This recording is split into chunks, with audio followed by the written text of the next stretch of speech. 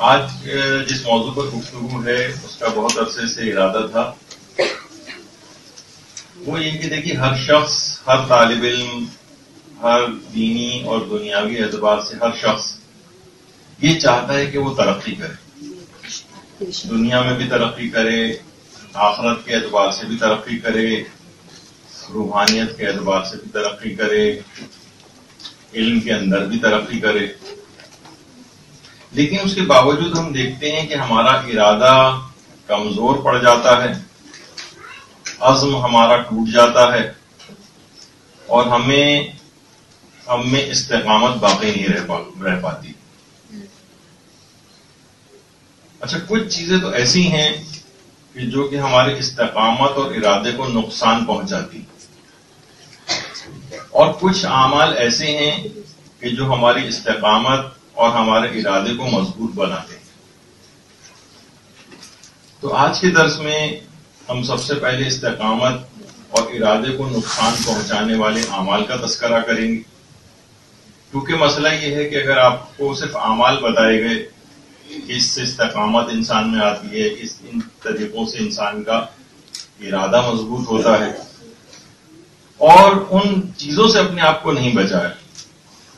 कि जो कि इस्तेकामत को नुकसान पहुंचाती हैं तो इसके ऐसे ही मायने होंगे जैसे मसलन आप पानी की टंकी ऊपर मोटर चला के फुल भी कर रही हो और नीचे तमाम नल के खुले हुए हों और सारा पानी बह बह के ड्रेन हो रहा हो। उसका कोई फ़ायदा नहीं होगा जब तक कि उन अमाल से अपने आप को ना बचाया जाए कि जो कि उस मज़बूत इरादे को नुकसान पहुंचाते हैं या आपकी इस्तेकामत को मुतासर करते हैं।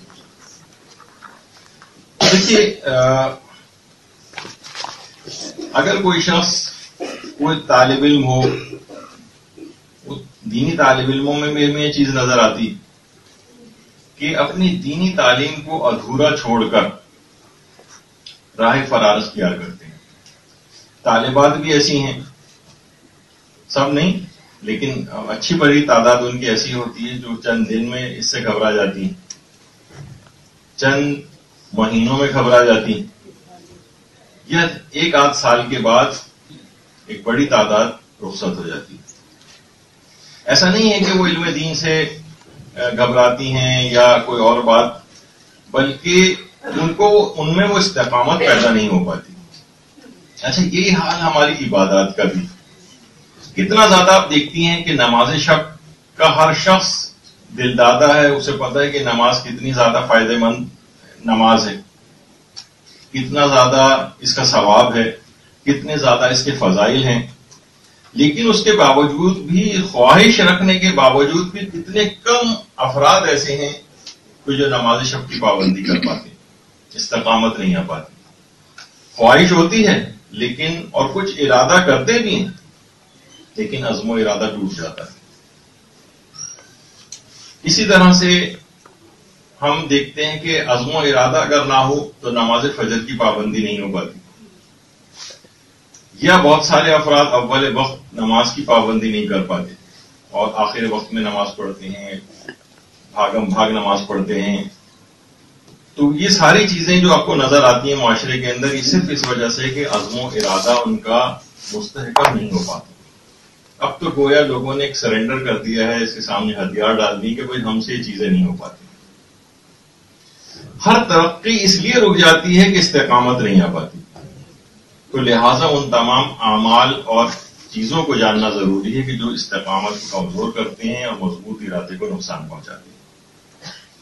अच्छा अब अच्छा ये बातिल भी इस बात से आगाह है कि लोग इस्तेकामत इख्तियार नहीं कर सकते। आपने देखा होगा हुकूमतों में जब एहतजाज होते हैं और आवाम एहतजाज करती है और धरने वगैरह जो है वो दिए जाते हैं तो हुकूमतों की ख्वाहिश ये होती है, इन धरनों को तूल दिया जाए। जितना ज़्यादा ये लंबे अरसे तक होगा, उतना ही लोग डिसहार्ट होने लगेंगे, यहाँ तक कि उनकी तादाद कम होने लगती सिवाय इसके कि जो कि मिलत तशैयों के ऊपर कुछ ऐसे मराहल आए जिसमें उन्होंने अजम इस्तकलाल का मुजाहरा किया। लेकिन बहुत सारे अफराद फिर भी ऐसे होते हैं जो इतने ज़्यादा दिन तक उनमें इस्तकलाल और अजम नहीं रह पाता। डिसहार्ट हो जाते हैं इस्तकामत नहीं रह पाती और नतीजा ये होता है कि अक्सर देखने में आता है कि उनकी तादाद कम होने लगती है। तो बातिल भी इस बात से आगाह है कि लोगों के अंदर नहीं होती तो इन बातों को तूल दो। ईरान इराक जंग जो एक मुसलत की गई थी तो उसके अंदर भी ये चीज़ थी कि बातिल का था इरादा, और अभी तक आप देखते हैं कि बहुत सारे इलाकों के अंदर हालात कभी भी सही नहीं होते। फलस्तीन चले चला जा रहा है, सिलसिला, हालात खराब रखे जाते इराक शाम अब जबकि हमारे महाराजे की फरासत ने दुश्मन शिकस्त फाज की और निकाल बाहर किया, लेकिन बहरहाल फिर भी कुछ ना कुछ वहाँ मुस्तकिल होता रहता है। तो 11 साल तक ईरान इराक जंग चली। इतनी लंबे और तवील अरसे तक जंग क्यों? ताकि जिनमें आज़म इस्तकलाल और इरादा कमज़ोर ना हो, इस्तकामत ना हो, लोग घबरा जाए और हुकूमत के खिलाफ होने लगे। तो इस तरह से जंगें भी मुसलत की जाती हैं। तो बातिल भी इन चीज़ों को आ, समझता है। अच्छा अब नेकी और रूहानियत के जो ख्वाहिशमंद अफराद होते हैं लेकिन उनको भी चाहिए कि वो बातिल से भी कुछ चीज़ें बाजात ये होता है इबरत के तौर पर इंसान को सीखनी चाहिए। इबरत के तौर पर। मसलन आप देखते हैं कि मीडिया जो है वो कितना जाफिशानी के साथ कितना ज़्यादा अजम के साथ और कितनी इस्तेकामत के साथ बुराई की चीज़ों को फैलाता है। आप देखें अगर 24-24 घंटे मुसलसल नॉन स्टॉप एक सेकंड की भी उसके अंदर नागा नहीं होता है और कितने इस्तकलाल और अजम के साथ टीवी मुसलसल चलता है। कितना आप अखबार के अंदर पढ़ती हैं कि फला जो अदाकारा हैं, वो कसरत काम की वजह से, अपनी शूटिंग की वजह से नींद पूरी नहीं हुई और बेहोश हो गई। तो बातिल और जो हराम पेशों से वाबस्ता अफराद वो तक अपनी अजम और इस्तकामत के अंदर इतना डेडिकेटेड होते हैं कि उनकी ये सब बातें आप सुनती शैतान से इबरत लेनी चाहिए। शैतान कितना ज़्यादा 24 घंटे खुदा की राह से हटाने का काम कर रहा है और उसके अंदर अपनी इस्तकामत उसने दिखाई हुई। अफसोस है कि साहिबान ईमान नेकी और सीधी राह पर आने के बाद भी और हिदायत याफ्ता होने के बाद भी इस्तकामत उनके अंदर नहीं आ पाती। कितनी चीज़ें हम देखते हैं, हमारी पूरी कोशिश है यहाँ पर मदरसे के इंतजामिया की भी कि कितनी सहूलियात दी जाएँ। कितने कारकुनान हैं जो दिन और रात काम करते हैं। और फिर भी कोई अच्छा पढ़ने को तैयार ना हो, इतनी आसानियाँ और सहूलतें मिलने के बाद भी तो ये इस्तेकामत की कमी की एक अलामत बनती आयतुल्ला हसन ज़्यादा आमिली। मौजूदा मुस्तहिदीन में से एक हैं और बहुत सारे उलूम फनून के माहिर हैं। वो फरमाते हैं कि आका शेख बुज़ुर्ग तहरानी, जो हदीस और रजाल के एतबार से बड़ी शोहरत रखते हैं, उन्होंने किताब तबकात एलाम शिया में बाकायदा आयतुल्ला अली आका काजी का एक कौल नकल किया। अली आका काजी, आयतुल्ला अली आका काजी कितने ही मुश्तहिदीन और महाराजे के इस के अंदर से रहे। वो ये फरमाते थे कि अल्लाह तक बुलंद होने के लिए, सलूक अल्लाह जिसे कहा जाता रूहानियत में अवितर होने के लिए, अल्लाह का कुर्ब हासिल करने के लिए, सैर सलूक के मनाजिल को तय करने के लिए, कोई भी अमल इस्तकामत से बढ़कर नहीं। इस्तकामत यानी मज़बूत इरादा। जब तक मज़बूत इंसान का इरादा मज़बूत इरादे के साथ अगर कोई अमल करेगा तो आगे बढ़ेगा। इरादा मज़बूत नहीं होगा, उसका अमल अधूरा रह जाएगा। क्योंकि ईमान लाने के बाद जो अगला दर्जा है वो इस्तेकामत का है। आप पुरानी आयात नहीं पढ़ती इन लजीना कालू रब्बन अल्लाह सुमस्तकामू अभी आगे आयत का मैं आगे इसका ज़िक्र आएगा पूरी आयत का। इन उन अफराद की तारीफ़ की गई है जो अल्लाह पर ईमान लाए हैं सुमस्तकामू और उसके बाद इस्तेकामत इख्तियार की। यानी ईमान लाने के फ़ौरन बाद इस्तेकामत का तस्करा हो रहा है। तो अच्छा बहुत सारे लोग ये समझते हैं कि जिन्होंने इस्तकामत अख्तियार की है, जो बहुत मज़बूत इरादे के साथ दीन के ऊपर आमिल लोग नज़र आते हैं, ये वो लोग हैं जिन्होंने इजाफी तौर पर इसको इख्तियार किया है। यानी इनके ऊपर इतने ज़्यादा चीज़ ज़रूरी नहीं थी, बस इन्होंने अपना मुकाम को बुलंद करने के लिए इसको इख्तियार किया। इस्तकामत वगैरह की कोई ज़रूरत नहीं तो आपने देखा होगा, लोग कहते हैं, भाई, हमको इतने बहुत ज़्यादा कोई मुतफी परहेजगार आदमी नहीं है। मैं तो एक नॉर्मल किस्म का एक मोमिन। हूँ जो बहुत लोगों से सुनने में आता है। यानी जो दीन पर अमल करता है, वो नॉर्मल नहीं है, बल्कि दीन पर जो अमल नहीं करता, घंटेदार नमाज़ पढ़ता है, खुद लोगों ने, यानी मुझसे भी एक दफ़ा एक साहब ने कहा था कि मैं बिल्कुल नॉर्मल मोमिन हूँ, नमाजें भी मेरी कजा हो जाती हैं। रोजी भी, रोज़े भी कभी रख लेता हूँ, कभी नहीं रखता हूँ। बिल्कुल हमको इतने मुतशद पसंद और एक्सट्रीमिस्ट नहीं एक नॉर्मल किस्म के मोमिन। तो भाई ये नॉर्मल मोमिन ये नहीं है। ये एब नॉर्मल मोमिन यानी दीनी एतबार से जो लापरवाह वो खुद को भी बर्बाद कर रहा है और आखरत को भी अपनी बर्बाद कर रहा है। ये नॉर्मल कब है? वो समझ रहा है कि मैं एक नॉर्मल आदमी हूँ और जो अफराद इस्तकामत इख्तियार करते हैं मुतकी परहेजगार हैं और आगे बढ़ रहे हैं दीन के अंदर वो ऐसे अफराद हैं जिन्होंने इजाफी तौर पर इसको हासिल किया वरना इतना तकाजा एक आम मोमिन से नहीं जबकि ऐसा नहीं दीन के अंदर जो इस्तकामत रखने वाले अफरा दीन में जो इस्तकामत की जो रिक्वायरमेंट है, एक आम मोमिन के लिए भी आम मोमिन के लिए भी कि वो इन तमाम चीज़ों को अच्छा हासिल करे। और ये भी है इसके अंदर कि देखिए, इस्तकामत इदारों के एतबार से भी ज़रूरी है। कितने ही हमने मदारिस ऐसे देखे कि जो कि एक दिन के अंदर बंद हो गए, एक हफ़्ते के अंदर बंद हो गए। चंद महीने में बंद हो गए या साल, दो साल में बंद हो गए उनको चलाने वालों के अंदर भी इस्तकामत नहीं। देखिए, चीज़ों के अंदर बहुत सारे बहुत सारे हर्डल्स आते हैं। इंतजामी तौर पर बहुत सारी ऐसी चीज़ें आती हैं। बाज अवत दाखिली इंतशार आते हैं, बाज अवत खारजी इंतशार आते हैं। मोहल्ले पड़ोस वालों को निमटना पड़ता है, अंदरूनी कारकुनान को निमटना पड़ता है, लेकिन इस्तेकामत तो इस्तेकामत हमने देखा है कि शख्सियात के अंदर भी होना मुश्किल होती है और बाज़ इदारों के अंदर भी मुश्किल हो जाती है। इसी तरीके से अगर हम देखें तो लोगों में नमाज़ को पाबंदी से अदा करने में इस्तकामत नहीं। यानी इस्तकामत ना होने के बायस उनकी नमाजें जो है वो कजा हो रही। या कभी कभार नमाजें पढ़ रहे और नमाज़ फजर के अक्सर कजा होने की तकरीबन नब्बे पचानवे फ़ीसद रेट होगा। अगर शरह उसकी निकाली जाए, आम अफराद के अंदर भी हद तक कि दीनदार अफराद के अंदर भी, अक्सर मुख्तलिफ़ बहानों से ये बात कह देते हैं कि फुला चीज़ हो गई थी, इस वजह से नमाज़ कजा हो गई फला हो गई थी तो ये हो गया। यानी इस्तकामत, नमाज़ जैसी बुनियादी चीज़ के अंदर भी नहीं।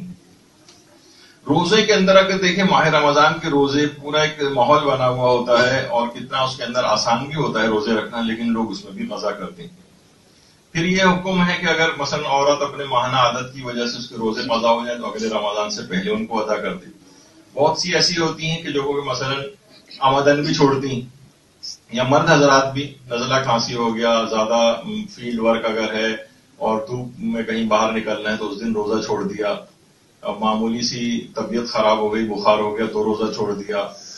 और हामिला औरतें हैं, वो इब्तदा में जबकि ऐसे मसाइल ज़्यादा उनको होते भी नहीं, उसमें रोजा छोड़ दिया। बच्चों को दूध पिला पिलाने वाली माएँ, जबकि उनका एक शरय फिकी हल भी है कि अलग से भी उनको बच्चे को अगर ऊपर का दूध देना पड़ जाए, डिब्बे वगैरह का तो ज़रूरी हो जाता है अक्सर महाराजे के नज़दीक की उससे इस्तेफादा किया जाए और रोज़ाना छोड़ा जाए। तो कितनी ऐसी चीज़ें हैं कि इस्तकामत ना होने की वजह से अच्छा क्या होता है कि फिर ये सब चीज़ों के अगले साल से पहले पहले कजा करनी होती है। कजा भी अक्सर खातन नहीं कर पाती हैं, मुकम्मल नहीं कर पाती हैं उसको, तब उनको एक कफारा ताखिर भी देना पड़ता है। और जो आमदन अगर छोड़ती हैं रोज़े तो हर रोज़े के बदले साठ रोज़े या साठ मिसकीनों को खाना। अब अगर आप देखें, एक रोजा भी अगर है और साठ मिसकीनों को खाना खिलाना है तो तकरीबन अगर सिर्फ़ आटे का भी हिसाब लगाएँ अगर तो उसके अंदर भी इस किस्म के मसले बाजोकात आ जाते हैं कि तकरीबन तीन हज़ार रुपए सिर्फ़ एक दिन के रोज़े का कफारा बनता है। और एक महीने का अगर है तो, तो ये नब्बे हज़ार रुपए बन जाता है और नौ दस साल के अगर रोज़े हैं तो नौ दस लाख रुपए बन जाता है। तो आपने देखा कि कितनी चीज़ें सिर्फ़ इस वजह से कि नहीं थी इरादा मज़बूत नहीं था मालूम भी नहीं थी तो क्या हुआ कि वो कजा वाजिबात भी सर पे आते गए उनके। और इसके अलावा ही कि कफ़ारे भी उनके सर के ऊपर आते गए। तो ये सब क्या हुआ कि ये अजम और इरादा कमज़ोर होने की वजह से माली नुकसान के लिहाज से देखा जाए कितना हो रहा है। और एक एक रूहानियत में कितनी कमी हो रही है और बहुत से लोग दुनिया से ऐसे ही चले जाते हैं जबकि इतनी उनके ऊपर वाजिबात सर पर मौजूद रहते हैं। इसी तरीके से हम देखते हैं कि इस्तेकामत अगर ना हो तो इंसान हज को भी अक्सर टालते हुए देखा है। अभी ये हो जाए, अभी बेटियों की शादी हो जाए, अभी मेरी जॉब सेट हो जाए, अभी फला चीज़ हो जाए, इसमें यानी शरय अहकाम का ख्याल रखना है कि कब वाजिब होता है कब वाजिब नहीं होता, लेकिन अक्सर वाजिब होने के बाद भी लोग मुख्तलिफ़ बहानों से हज को टालते और तर्क करते। ये भी इस्तकामत ना होने के बाइस ये भी इरादा कमज़ोर होने के बायस। है इसी तरह से होमोस अक्सरियत होमोस नहीं निकालती। या निकालती है तो वो सोचते हैं कि सिर्फ़ शायद बैंक में जो पैसे वैसे रखे होते हैं, जो पैसों की बचत है, उनकी और तरफ़, चीज़ों की तरफ़ भी निगाह नहीं होती। तो यहाँ पर भी उनका कितने ज़्यादा पैसे निकल जाएँगे, पिछली ज़िंदगी का भी हिसाब करना है, अजमो इरादा उनका टूट जाता है फोस दिए बगैर ही ज़िंदगी ऐसी गुजरती रहती तो यहाँ तक कि क्या होता है कि बहुत बड़ा, एक बोझ, वाजिबात का, कफारों का, रद्द मजालिम का और जो कजा उसकी चीज़ें हो गई हैं बहुत बड़ा बोझ अपने सर के ऊपर उसे लादा हुआ होता है। और उन, क्योंकि बोझ की कसरत होती है तो उसके दिलो दिमाग के अंदर एक मायूसी सी भी आ जाती है। ये मैं कैसे उतारूँगा? कैसे उतारूँगी? नतीजा ये कि उस मायूसी में उसका आजमा और इरादा मजीद कमज़ोर पड़ जाता है, इसकी भी आगे तफसील आएगी तो ये जो बैकलॉग बढ़ता चला जाता है उसके ऊपर, ये खुद उसके लिए परेशान कन बात है। अच्छा इस्तकामत ना रखने वाले अफराद के साथ कुछ चीज़ें और भी होती हैं।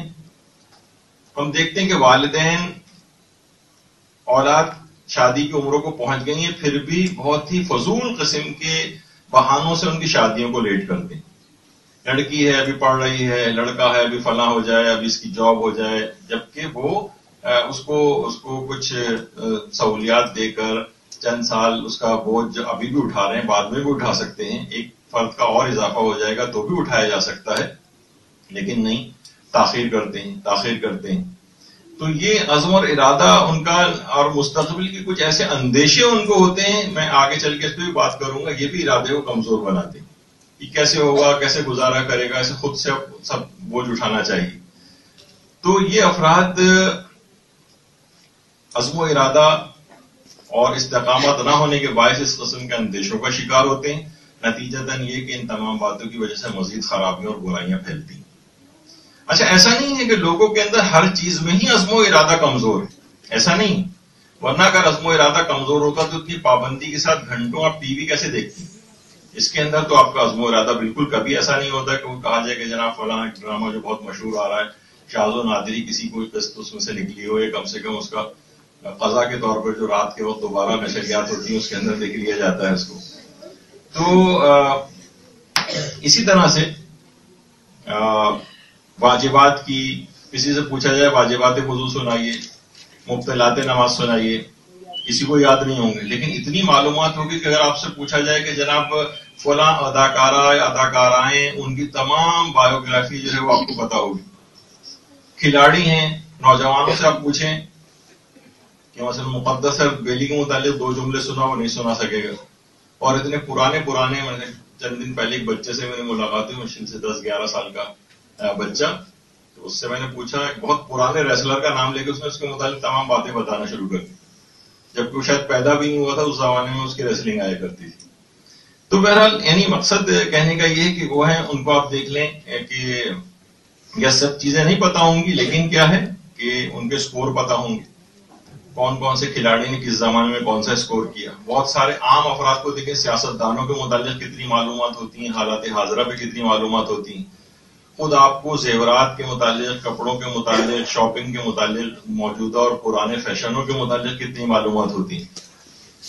यानी चंद घंटे आपने आप खुद महसूस करेंगे कि लगातार बैठ के कभी आपने फिजा का कोई दर्श नहीं सुना होगा, इखलाक का कोई इतना दर्श नहीं सुना होंगे जितने आपने अब तक मॉर्निंग शोज़ और गेम शोज़ देख लिए होंगे। ऐसा नहीं कि इस्तकामत को जहाँ आपने इस्तेमाल करना चाहा, वहाँ आपने सही इस्तेमाल किया। बात ये भी होता है कि इंसान इरादा ही नहीं करता है। ख्वाहिश रखता है। जिन जिन चीज़ों की आपने ख्वाहिश रखी है और इरादा नहीं किया, उसमें आप कामयाब भी नहीं होते। तो कोई भी शख्स अगर बाकायदा इस्तकामत के साथ किसी भी शोबे के अंदर जाए तो वो एक कमाल को हासिल कर सकता है। अब कोई सोच भी नहीं सकता था, चंद साल पहले तक, अभी क्योंकि अभी रिसेंटली मिसाल है और हर तरह की मिसालें इसके अंदर आएँगी। जुबैदा आपा मसलन। अब आप खुद देखें, बहरहाल टोटकों के अंदर, टोटके ऐसे कौन सी चीज़ थे जिसके अंदर बड़ी महारत और उसमें एक उनका, बहरहाल उन्होंने रेसिपीज़ में, खाने में और इसके अंदर एक कमाल को हासिल किया बिलाखिर। और यहाँ तक एक शोहरत दुनियावी एतबार से जाहिरी तौर पर जो लोग यानी अगर एक उनको मिसाल बनाया जाए तो यानी किसी भी चीज़ को अगर इंसान चाहे तो उसके अंदर कमाल को हासिल कर सकता है, बशर्ते इस्तेकामत से काम तो इस तरह से बहुत सारी चीज़ें होती हैं। तो इस्तेकामत ये अगर ना हो, देखिए, बाज अवत ये होता है कि मुमकिन है कि कोई शख्स मुख्तर सी वक्ती मेहनत करे और किसी मुकाम को हासिल कर ले। लेकिन उसको कायम और दायम रखना ये फकत इस्तकामत के ज़रिए मुमकिन होता है। मुमकिन है कि बाज़ात होता है ना कि आपने हो सकता है कि वक्ती मेहनत की और चंद महीने, साल के अंदर एकदम से आप क्लिक कर गई। लेकिन क्या है कि उसको बाकायदा बरकरार रखना उसको दवाम देना यह सिर्फ़ इस्तकामत से हासिल होता है। यानी अगर इस्तेकामत ना हो तो हो सकता है कि पिछली ज़िंदगी के तमाम कामों की जो मेहनत है, वो सब जाया हो जाए। यानी आपने बहरहाल इतना ज़्यादा मेहनत करके किसी मुकाम को हासिल किया, लेकिन इस्तेकामत नहीं आ पाई। इरादा आपका कमज़ोर रहा तो मुमकिन है पिछली ज़िंदगी के तमाम कामों की मेहनत जाया हो जाए। ये भी हो सकता है। और यानी जितनी तरक्की थी, वो भी रुक गई और आगे भी नहीं बढ़ पाए। और पिछले भी जाया हो गए। और अगर आप दवाम देंगी, इस्तेकामत को इख्तियार करेंगी, पिछली तमाम गोया मेहनत को आप आगे बढ़ाएँगी, वो सब भी जाया होने से बच जाएगी और मजीद तरक्की भी नसीब होगी। तो इस्तकामत इसको कहते हैं कि इंसान शुरू से लेकर आखिर तक बगैर किसी नुकसान के उस काम को अपने अंजाम तक पहुँचा दे। ये है इस्तकामत। इस्तकामत को हम देखते हैं कि मसलन किसान से वाकई सीखनी चाहिए कि सिर्फ़ एक बीज डालता है बीज डालने से पहले कितने सारे काम करता है वो वो जो बीज डाला और उसके बाद उसने लहलाती हुई फ़सल जो है वो तैयार हो गई उससे उसमें किसान की इस्तेकामत होती। उससे पहले खुदाइयाँ करता है ज़मीन को हमवार बनाता है मुख्तलिफ़ किस्म की खादें डालता है और जितनी भी ऐसे नुकसान पहुँचाने वाली खेत को जितनी चीज़ें होती हैं उन, उनके ऊपर जो है उनको वहाँ से हटाता है मौसमों से उसको बचाता है। खराब मौसमों के अंदर पानी ज़्यादा ना चला जाए, पौधे को पानी कम ना चला जाए।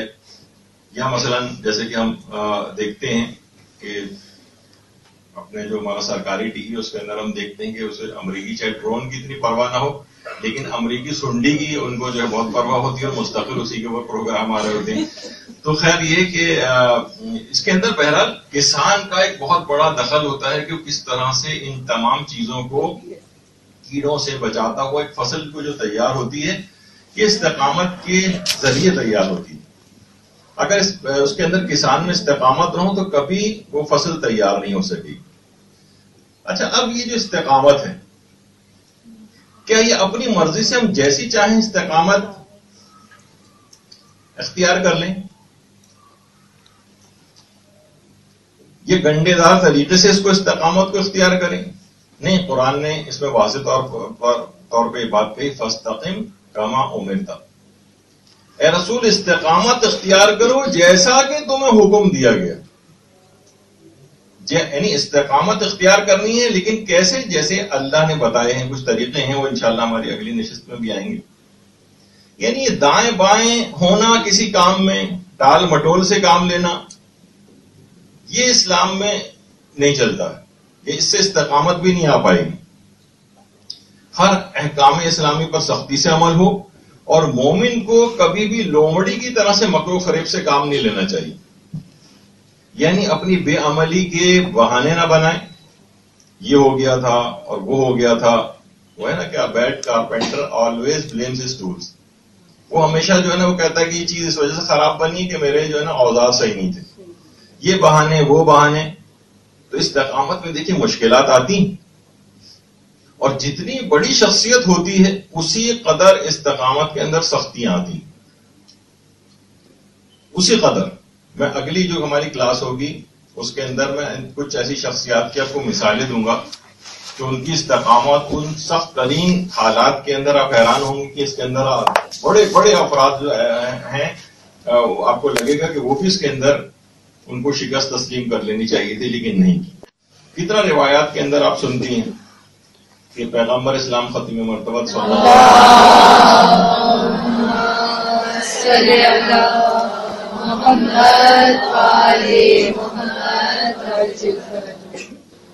सूर्य हूद की जो तफसील आती है, उसके अंदर भी ये बात आती है कि पैगंबर फरमाते थे कि सूर्य हूद और उसकी बहनों ने अच्छा बहनों से मुरादी उस जैसे दीगर जो सूरा हैं सूर्य हूद और उसकी बहनों ने मुझे बूढ़ा कर दिया। बहुत सी रिवायात के अंदर ये बात आई कि असाब ने देखा कि अचानक से पैगंबर के बाल ज़्यादा सफ़ेद हो गए। तो लोगों ने पैगंबर से दरियाफ्त किया तो पैगंबर ने ये जुमले इर्शाद फरमाए।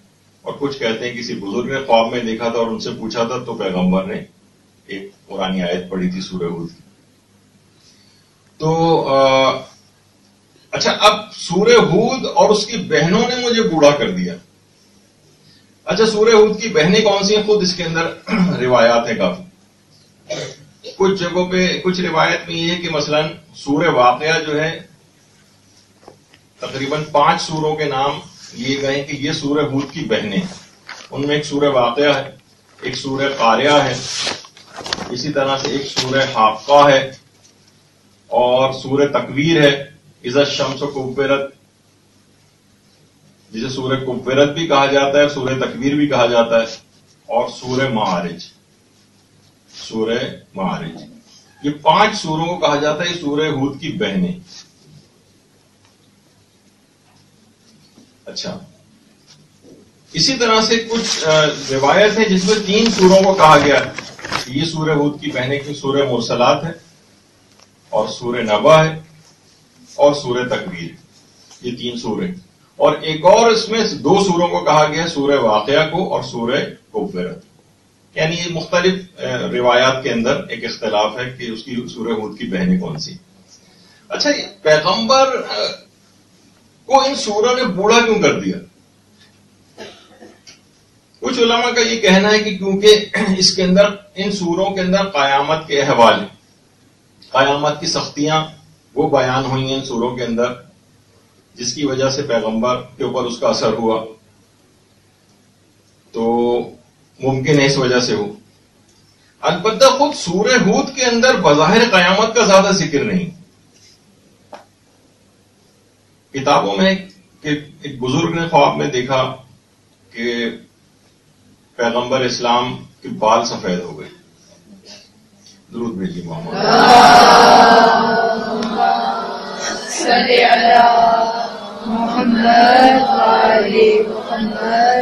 उन्होंने ख्वाबी में पूछा कि या रसूलुल्लाह किस चीज़ ने आपको वक्त से पहले बूढ़ा कर दिया? यानी अंबिया के जो किस्से हैं कुरान ने बयान किए हैं उसने कर दिया है या कौमों की हलाकत ने कर दिया है या कोई और वजह? तो पैगंबर ने उस वक्त सूर्य हूद की इस आयत को तिलावत किया कि फस्तकिम गामा उमिर था इस्तकामत इख्तियार करो, जैसा कि हुक्म दिया गया। इस आयत ने बूढ़ा कर दिया। तो अच्छा अब उलमा कहते हैं कि आमाल पर इस्तेकामत, इससे मुराद है तो पैगंबर की शान से बहुत बहुत बईद है ये बात। पैगंबर के लिए दीन पर अमल करना कौन सा मुश्किल काम था? कि रसूल को बहुत मुश्किल लगता और पैगंबर दीन पर इस्तकामत के एतबार से आ, उनके बाल सफ़ेद हो गए। अच्छा फिर यही वाली आयत जो है वो सूर्य हूद के अंदर भी आई। फलदाल का फदो वस्त कमा उमिर था बिल्कुल यही चीज़ सूर्य शूरा के अंदर भी आई।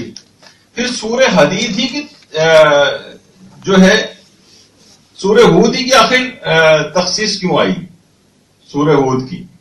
फिर तो सूर्य शूरा का नाम भी आना चाहिए था, क्योंकि ये वाली आयत तो उसके अंदर भी मौजूद है।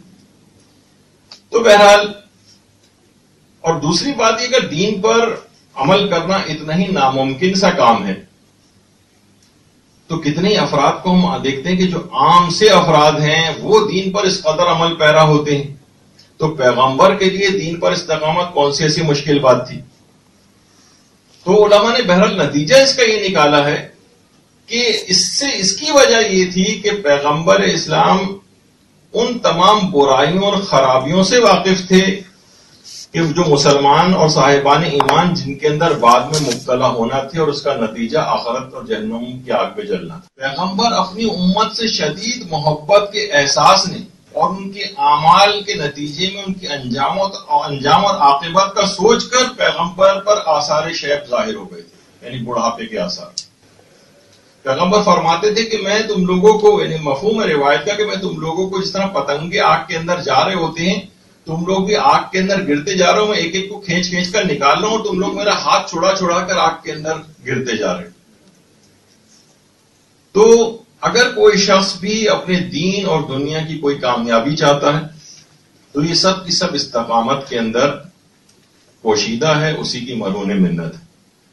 आयतुल्ला हसन जादा आमिली। उनकी किताब है हज़ार व यक नुकता। उसमें वो फरमाते हैं कि जितनी भी अल्लाह परवरदिगार आलम की बरकत का नजूल होता है और जितना भी फैजान इलाही किसी को मिलता है, वो फकत इस्तकामत की बुनियाद पर मिलता है। जितनी बरकतें ये हासिल करेगा, जितना फैजान इलाही को जज्ब करेगा, ये उतनी उतनी ही मकदार के अंदर ही चीज़ें उसको मिलेंगी जिस कदर ये इस्तकामत इख्तियार करेगा। और आयतुल्ला अली आका काजी जिनकी वादुसलाम नजफ अशरफ में कब्र मुबारक है, जो लोग नहीं जाते हैं, और ये उनकी कब्र उन जगहों में से है, जो उलामा तकरीबन दावा करते हैं इस बात का, कहीं कोई दुआ कबूल ना हो रही हो आयतुल्ला अली आका काजी कब्र पे जाकर दुआ मांगे तो कबूल हो जाती है, लाजमी तमाम।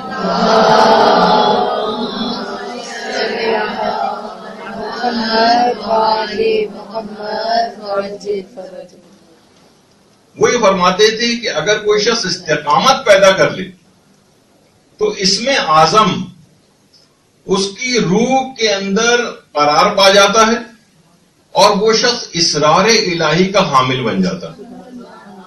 यानी इस्तेकामत इख्तियार तो करें। वो हमारे साथ यही होता है ना कि हर सूरत में हम कोई इरादा करते हैं इरादे टूटते हैं, इस्तेकामत को इख्तियार कर ही नहीं पाते हैं, कोई चीज़ मुकम्मल तौर पर जारी रख नहीं पाते, इल्म के अंदर आते हैं तो इल्म को कुछ अरसे बाद छोड़कर चले जाते हैं। कोई अनेक काम शुरू करते हैं वो उस, उसमें दबाव नहीं रह पाता। कोई इबादत शुरू करते हैं उसके अंदर कमी रह जाती है। तिलावत कुरान शुरू करते हैं कुछ अरसे बाद वो रह जाती है। यहाँ तक कि फिर रमज़ान आ जाता है रमज़ान में थोड़ी बहुत तिलावत की फिर रुक जाता है नमाज़ शब की पाबंदी नहीं वगैरह बहुत सारी चीज़ें अगर आप देखें तो फरमाते थे कि इसमें आज़म उसकी रूह के अंदर मुस्तकर हो जाता है और वो इसरार इलाही का हामिल बनने लगता है। और एक और फ़ायदा इस्तकामत का ये होता है कि खुद कुरानी जो आया, आयात है इस पर इन लजीना कालू अल्लाह सुमस्तकामू जो इस्तकामत इख्तियार करते हैं ततनजल मलाइका उनके ऊपर मलाइका नाजिल होते हैं। इससे आप अंदाज़ा लगाएँ कि मलाइका उसके ऊपर नाजिल होंगे यानी जिस कदर इस्तेकामत उलमा फरमाते हैं जिस कदर इस्तेकामत होगी जन्नत में दाखिला उसी कदर आसान होगा।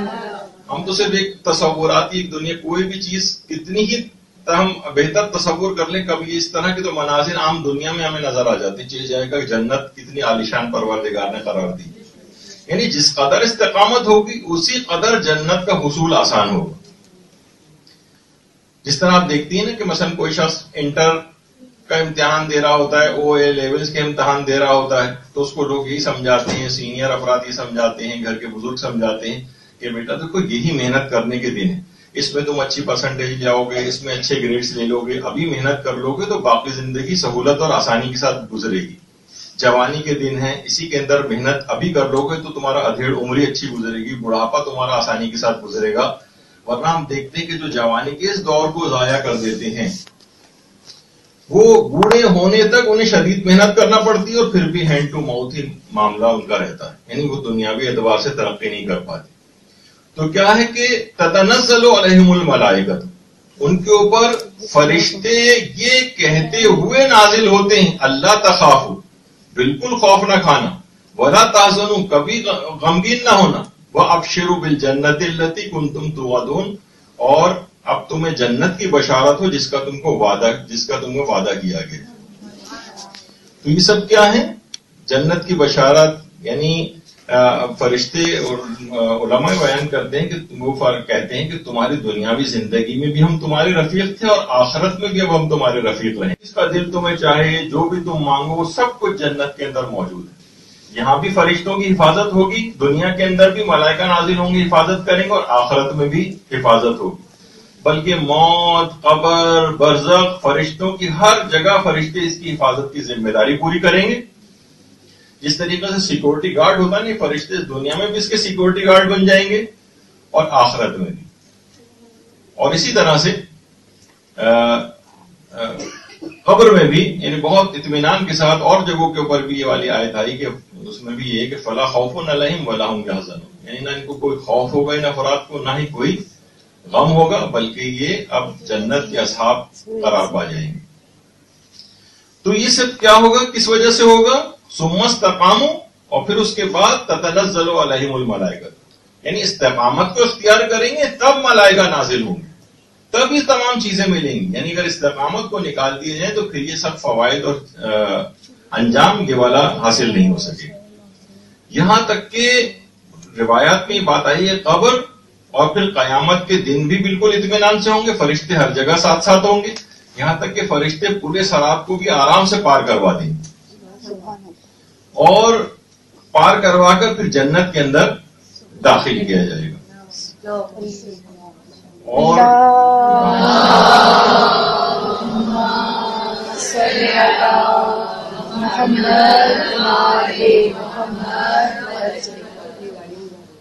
और सूर्य इब्राहिम की जो बाकायदा एक आयत भी है कि जिस वक्त कब्र में मुस्तहबात में से भी है कि जिस वक्त कब्र में इंसान को दफन कर दिया जाता है और वो लेटा हुआ होता है तो उस वक्त सूर्य इब्राहिम की आयत जो है वो पढ़ी जाती युसबीना आमनु बिल कौल साबित फिल हयात फिल हयात दुनिया व फिल आखिर यानी, ए ईमान वालों, बल्कि है कि अल्लाह ईमान वालों को इस दुनिया और आखिरत में साबित कदम रखता है। इस दुनिया में भी साबित कदम और आखिरत में भी साबित कदम। यानी जो इस इस्तेकामत को एक मरतबा इख्तियार कर लेते हैं, दुनिया और आखरत आखरत में साबित कदम यानी जब जिस वक्त फरिश्ते आकर इनसे पूछेंगे ये तमाम चीज़ों के सही सही जवाब देंगे, यानी कौल साबित, यानी उस वक्त भी अपने और उस चीज़ों को भूल नहीं जाएँगे, बल्कि वो अपनी इस्तकामत की बुनियाद पर तमाम सवालों के भी सही जवाब देंगे, हद तक तमाम अंजाम ठीक होता चला जाएगा। तो ये तमाम चीज़ें इस तरह से हैं कि रिवायत में भी ये बात आई है। कि अल्लाह उसके पास, जब भी कोई शख्स इस्तकामत को इख्तियार करता है तो अल्लाह उसके पास फरिश्तों को भेजता है। अच्छा वो फरिश्ते उसको इबादत के लिए भी तैयार रखते हैं। उसे तरगीब देते रहते हैं। मसलन अगर ये सो जाए तो फरिश्ते उसको उठाते हैं। अगर ये किसी बेकार मसरूफियत के अंदर लोगों के साथ बैठ बैठ के बातें कर रहा होता है तो फरिश्ते इसको उभारते हैं कि यहाँ से उठो और इबादत की तरफ़ आओ। अब ये फजूल किस्म की अपनी जो मसरूफियात हैं, इसको छोड़ता है, इस वक्त फरिश्ते उसको मजबूर कर रहे होते हैं। अच्छा ये तो है जो दीन के ऊपर इस्तेकाम इख्तियार कर रहे होते हैं, उनका ये मसला हो रहा होता है। कुछ ऐसे हैं जो गुनाहों पर इस्तेकामत इख्तियार करते हैं। तो जिस तरह दीन पर इस्तकामत करने वालों के लिए मलाइका का नजूर होता है, उसी तरह बुराई पर इस्तकामत रखने वालों पर मुस्तकिल तौर पर शयातीन का नजूर होता है। ये क्या करते हैं शयातीन? ये नेकियों से उसे मजीद बेरगबत करते हैं। अब इसे क्या होगा? इसे दरस इलमी में बैठने से इसको वहशत और घबराहट होगी। अब इसे फ़िका, अकायद, इखलाक, ये इसको, ये फजूल लगने लगेंगे।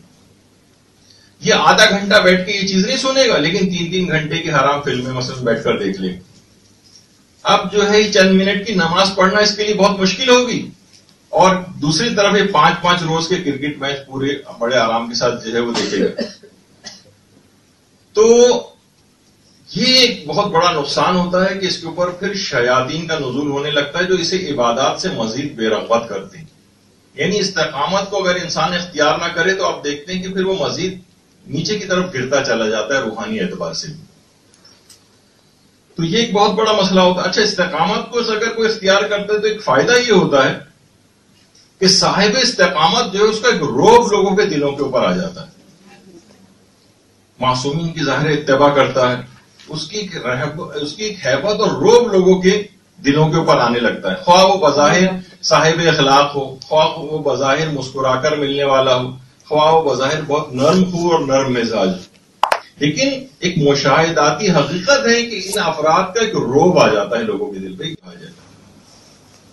और अगर कोई शख्स मुसलसल इस्तेकामत इख्तियार करता है नेकी पर तो उसी नेकी के ऊपर इस्तकामत करते हुए, नेकी के काम करते हुए जो उसको मौत आती तो रिवायत में कि जो शख्स भी, जो अमल करता हुआ मरेगा, उसी हालत में उसको उठाया भी जाएगा। फ़सल बहुत सी रिवायतों के अंदर है कि जो कुछ अफराद ऐसे हैं जो अपनी कब्रों से जब बाहर निकलेंगे तो अल्लाह अकबर अल्लाह अकबर की सदाएँ बुलंद करते हुए बाहर निकलेंगे।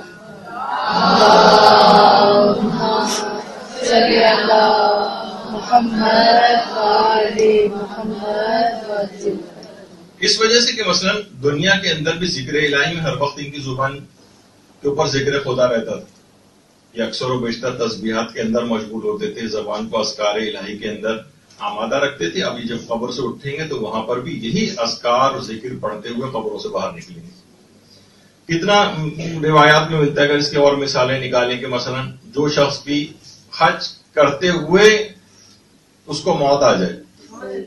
एक तो मसलन ये होती है कि चाहे वो वहाँ की नाअहली की वजह से जो वहाँ के हुक्मरान हैं बाजों का ये भी वजूहत होते लेकिन किसी भी वजह से बाजों का बीमारी की वजह से भी लोग मरते हैं। किसी और वजूहत से यानी हज करने के दौरान अगर कोई शख्स इंतकाल कर जाए तो रिवायात में यह है कि कयामत तक हर साल होने वाले हज का सवाब इसके नाम अमल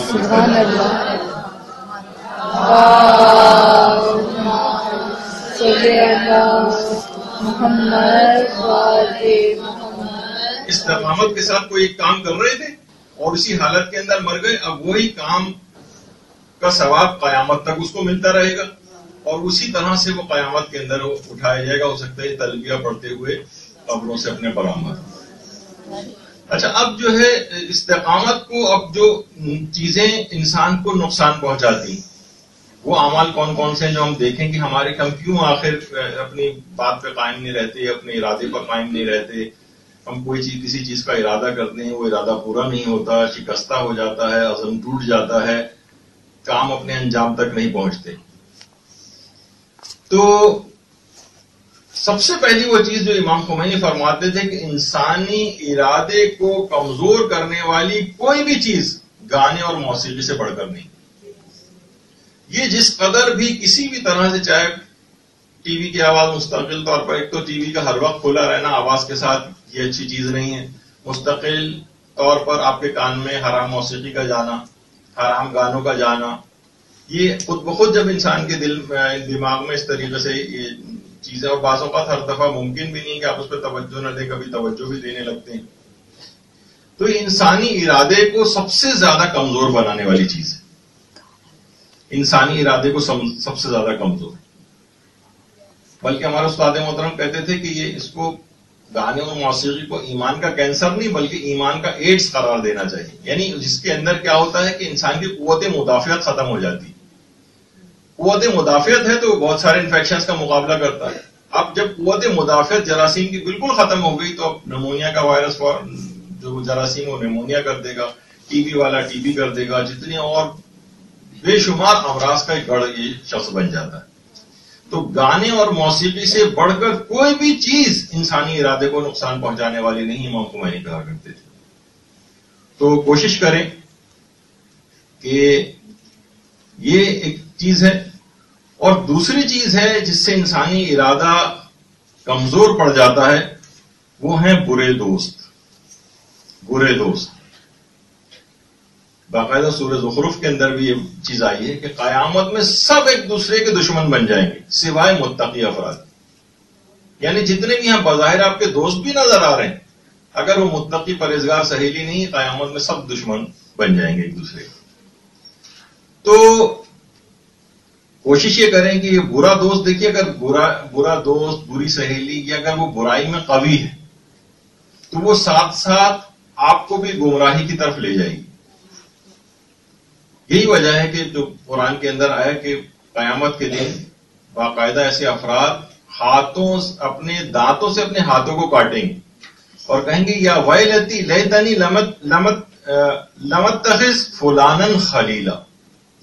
काश मैंने दुनिया में फुला शख्स को अपना दोस्त ना बनाया होता।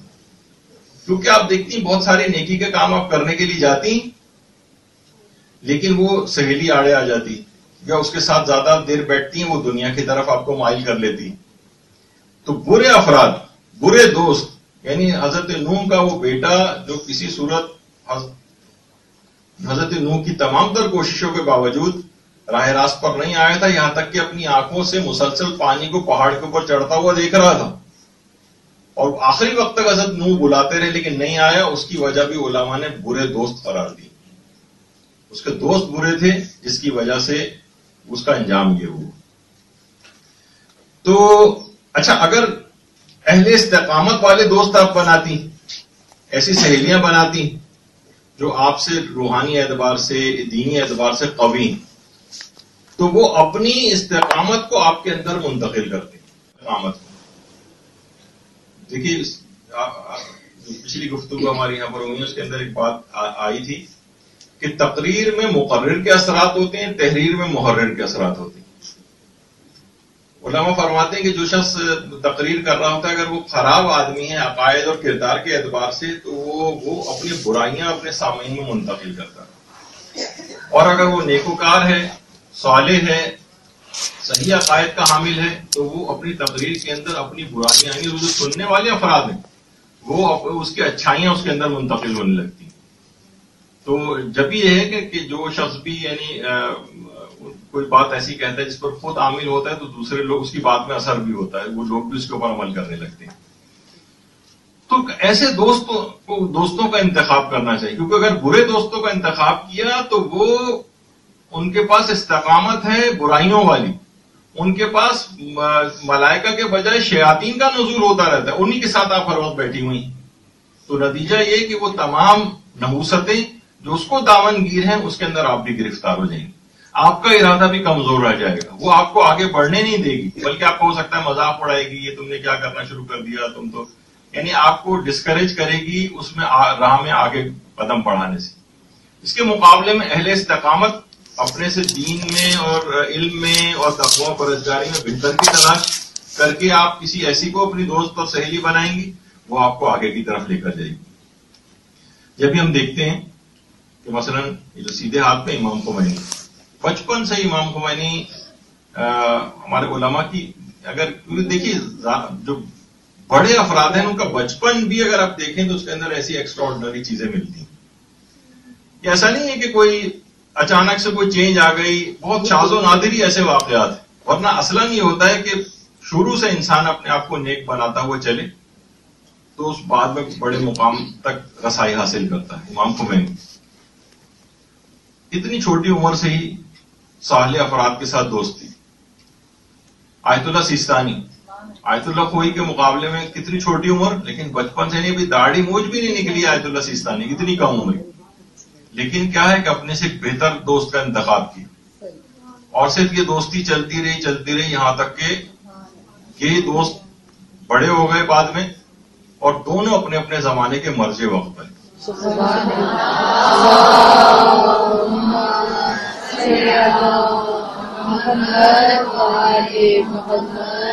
यानी एक ने अपनी इस्तेकामत दूसरे के अंदर मुंतकिल इसी तरह से रहबर मौजम सीधे हाथ पर जो है तो जी हाँ सीधे हाथ पर। तो इसमें अगर आप देखें ये आ, देखा जाए तो बजाय दाढ़ी भी नहीं अभी कितनी कम उम्र का एक दौर है। लेकिन क्या है कि उस वक्त से ही नेक और सहले अफराद के साथ दोस्ती। तो हम देखते हैं कि इंसान उनसे बहुत कुछ सीखता है। और बुरे बुरों से बुरी चीज़ सीखता है। मसलन सिर्फ़ देख के भी सीखता है। मसलन अगर आप नहीं भी चाहेंगे तो किसी भी जमाही लेते हुए शख्स को अगर आप देखें तो आपको भी जमाई आने लगती है। तो इसी तरीके से नेकियों की भी बात होती है। उसको नेकियाँ करते देखकर आपका भी दिल चाहने लगता है। अच्छा ये दो चीज़ें हुई। मौसीकी, ये आपके इरादे और उसको कमज़ोर बनाती, गाने और मौसीकी। और बुरे दोस्त, ये आपके इरादे को कमज़ोर बनाने वाली। तीसरी चीज़ ये है कि अगर घर के अफराद गैर सौले हो सकता है कि किसी के बहन भाई गैर सौले हों, हो सकता है किसी औरत का शोहर गैर साले हो हो सकता है किसी मर्द की बीवी सही ना हो बहन भाई अक्सर वालदेन, अब ज़ाहिर है कि माजी में जाकर अपने वालदेन को तो तब्दील नहीं किया जा सकता, अपने बहन भाइयों को तब्दील नहीं किया जा सकता। तो कम से कम उनकी तरबियत फिर ऐसी करने की ज़िम्मेदारी हो जाती है कि रहना आपको बिलाखिर उन्हीं के साथ है। आप उनको छोड़कर कहीं जा नहीं सकते। तो फिर आपको ये कोशिश करनी पड़ेगी कि उनमें अगर कोई गैर सवाले हो, ताकि वो अपनी बुराई का असर आप पे ना कर सके। मसल घर में कोई इन्फेक्शस डिज़ीज़ के अंदर मुबतला है जरासीम फैला रहा है टीबी का कोई मरीज़ है आप सबको भी लग सकती है तो आप उस शख्स का इलाज करवा देंगे। भाई हमें ना लग जाए कहीं। तो ऐसे अफराद का भी आपको इलाज करना पड़ेगा रूहानी तौर पर कोशिशें करनी पड़ेंगी अमर बिलमारूफ और नहीं अनिल मुनकर करना पड़ेगा कि अपने असात बंद मुझ तक और मैं ना पहुँचा दू। सहले अफराद। मुसलसल कोशिश से उन अफराद को भी सहले बनाने का काम करना पड़ेगा। लेकिन असलन ये है कि अगर घर में कुछ ऐसे अफराद मौजूद हों तो ये भी असर पजीरी दिखाते हैं और ये इस्तेकामत को नहीं आने देते। आयतुल्ला सिस्तानी के दादा, सैयद अली सिस्तानी, जिनके नाम पर आगा सिस्तानी का नाम अली रखा गया है। ये दादा हैं। अच्छा वालिद बाकर सिस्तानी जिनका इमाम जमाना से मुलाकात का एक वाक्य बहुत मशहूर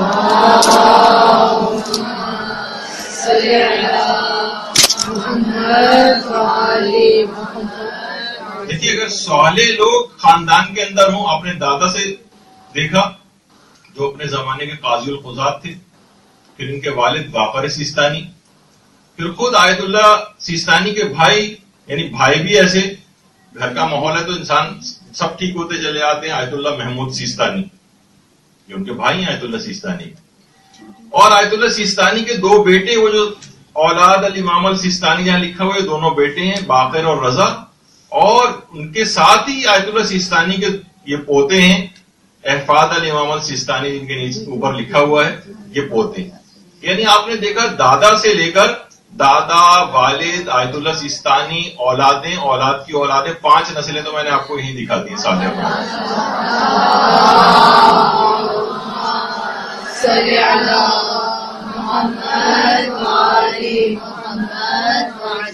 नेकी और साले होना, नेक होना और साले होना, फिर इन नस्लों में इस तरह से मुंतकिल होता।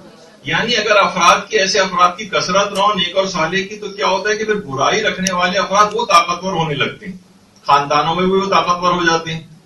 तो ऐसे अफराद को ताकतवर होना चाहिए, दीनी एतबार से वो अपना इन्फ्लुएंस रख सके, दूसरे लोगों को भी नेक बना सके। तो आपने देखा कि फिर ये नस्लों के अंदर ही सिलसिला कैसा चलता है? इसी तरह से मसन रहबर मौजम आयतुल्ला खामने इनके वालिद हैं, बराबर में सैयद जवाद खामेनी ये वालिद इंतकाल हो चुका अब तो लेकिन क्या है कि रहबर मौजम और रहबर मौजम की जो चार चार बेटे एक और जो बड़े शख्सियत खड़ी हुई कोई और रिश्तेदार है, लेकिन चार बेटे। और यही चार बेटे, क्योंकि देखिए, साले अफराद उनके वालिद से और उससे पहले के भी, यानी रहबर मौजम ने अपनी इब्तदाई जो दीनी तालीम है, अपनी वालदा से हासिल की थी। शर हमसला वगैरह तो उन्होंने जो है जो दीनी किताबें ये अपनी वालदा से पढ़ी। यानी वालदा भी नेक, नेकी और इल्म के मैदान के अंदर वो आगे। और फिर यही चारों बेटे बाद में चलकर ये सब भी आलिम दीन के अंदर तो आपने देखा कि बहरहाल नेकी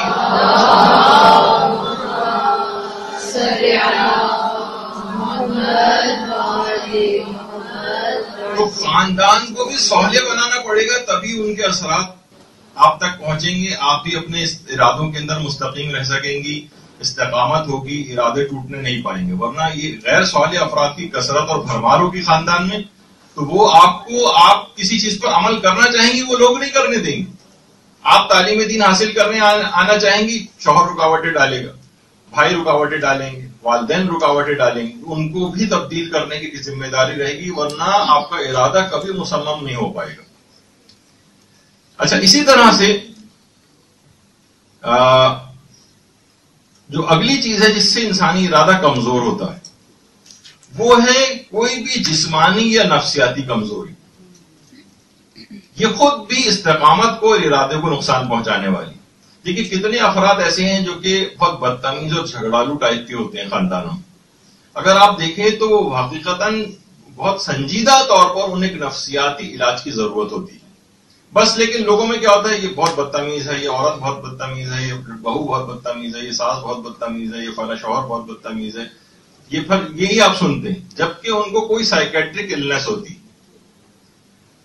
तो उनके इलाज की ज़रूरत होती, जो हमारे यहाँ समझा नहीं जाता। मारपिटाई उनके साथ होती है उन्हें बुरा भला कहा जा रहा होता है किसी को मसल ट्यूबरकुलोसिस का मरीज़ है, वो खांसे चला जा रहा है, आप उसे लाख पूरा जमाना बुरा कहता रहे कि मत खांसो। तुम्हारे खांसने से हमें तकलीफ़ हो रही है क्यों खांस रहे हो भाई वो मजबूर है बीमार है। उसका इलाज करवाएँगे तो खांसी दूर होगी। इसी तरीके से इन अफराद को भी मेडिकल ट्रीटमेंट की ज़रूरत पेश आती। मसलन कितनी बीमारियाँ ऐसी मसलन, आजकल मशहूर भी हो गई ये बात, पहले इतना नहीं समझा जाता था कि वाइटामिन डी की अगर किसी के अंदर कमी हो जाए। अब कितनी सारी चीज़ें उसके साथ जो है, वो हो रही होती उसको मसलन जिसम के अंदर दर्द हो रहा है, उसके मसल्स में जो है, कमज़ोरी हो रही है, उसको डिप्रेशन हुआ जा रहा है, उसको जो है, वो भूल का मर्ज लाक हुआ हुआ है। इतनी सारी चीज़ें उसके साथ हुई हुई हैं, और उसे आप कह रहे हैं कि भाई इस्तकामत अख्तियार करो। उसको कह रहे हैं कि जनाब, आपका इरादा क्यों मज़बूत नहीं होता? वो कैसे कर करे? यानी उसके अंदर एक चीज़ की कमी हुई हुई है, जिसमानी एतबार से मसलन कोई शख्स कमज़ोरी के अंदर है, जिसम दाहरिया हुआ हुआ उसको जिसम से नमकियात निकल चुके बिस्तर पे गिरा पड़ा, उसे कहने ग्यारह रगत की नमाज़ शब खड़े होकर पढ़ो। ये तो नहीं होगा ना। इस्तकामत उसकी टूट जाएगी, इरादे का कोई, उसका कोई फ़ायदा नहीं होगा, इरादा करने का भी कमज़ोर पड़ जाएगा। तो बहुत सी चीज़ें ऐसी हैं जिनकी तरफ़ मुतवजह होना चाहिए कि कहीं ऐसा तो नहीं कि हमारे जो चीज़ें सुस्ती हो रही है हमें बुझी बुझी सी तबीयत है, हो सकता है डिप्रेशन हो हो सकता है वाइटामिन डी की डेफिशिएंसी तो ये सब होता है। इसी तरीके से मसलन कितनी खातन ऐसी गिरी गिरी तबीयत हो रही है, चक्कर आ रहे हैं उनको, कमज़ोरी का एहसास हो रहा है। दिल की धड़कन बहुत ज़्यादा तेज़ी के साथ दिल धड़क रहा है, मसलन ब्लड प्रेशर लो हुआ जा रहा है। बाजत बेहोशी की कैफियत भी हो जाती है। कोई भी इस तरह की चीज़ पता चला खून की कमी है उनके अंदर। अब उनसे कहें कि, जनाब, आपका अजम और इरादा कभी क्यों नहीं होता? उसे लाख आप दर्द सुनाए उसमें कभी कमी हो नहीं हो नहीं सकेगा अजम और इरादा कभी, क्योंकि जिसमानी कमजोरियाँ उसको कुछ ऐसी लाख है जिसको करेक्शन की ज़रूरत है। बीमा, जिसमानी एतबार से बीमार शख्स से आप तो नहीं कर सकते कि वो बड़े बड़े टास्क और गोल्स को अचीव करेगा, ये नहीं हो पाएगा।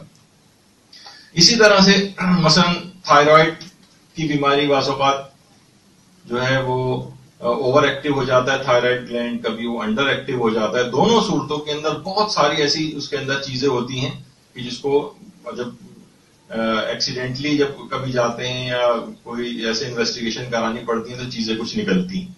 वरना एक अरसे तभी, अरसे तक इंसान ऐसे ही चल रहा होता है वही सोच रहा होता है, मैं क्या करूँ? मैं तो अपनी चीज़ों को कर ही नहीं पाता। कितनी दफ़ा मैंने कोशिश की, आजमो इरादा मेरा कामयाबी नहीं होता। पता चला उसके पीछे कोई जिस्मानी टाइप की चीज़ें ऐसी हो रही मसलन किसी को और कोई बीमारी नहीं, सिर्फ़ लो ब्लड प्रेशर ही रहता है। लो ब्लड प्रेशर में भी गिरी गिरी तबीयत रहती है, कभी चक्कर आने लगते हैं, कभी दिल ज़ोर ज़ोर से धड़कने लगता है वगैरह। ये तमाम चीज़ें ऐसी हैं जो उसको अमल के ऊपर उभारेंगी नहीं, बल्कि डिप्रेस रखेंगे कि नहीं काम काम नहीं करो। तो वो, उसका अजम और इरादा कभी नहीं हो पाएगा।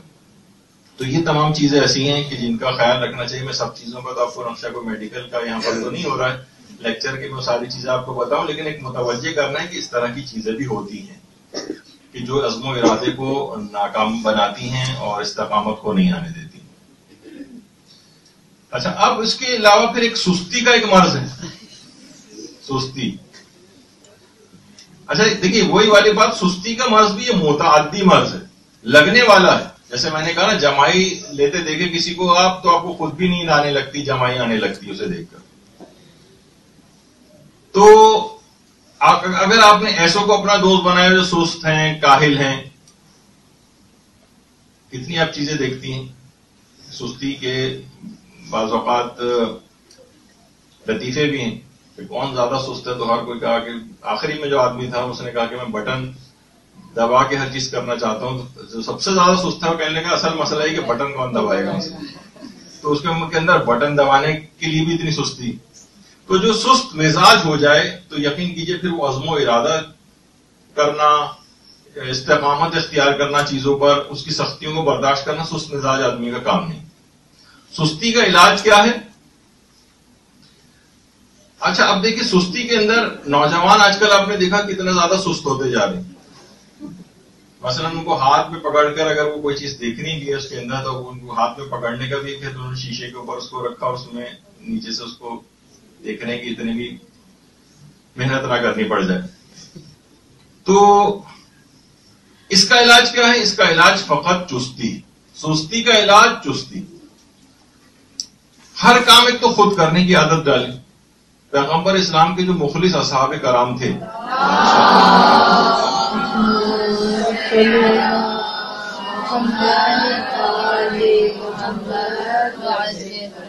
उनके हाथ से अगर कभी चाबुक भी गिर जाता था ना, किसी आदमी से उठाकर नहीं कहते थे नहीं कहते थे कि तुम मुझे उठाकर दे दो। बल्कि खुद घोड़े से नीचे उतरते थे, चाबुक को उठाते थे, हालाँकि किसी से भी कह सकते थे, लेकिन नहीं।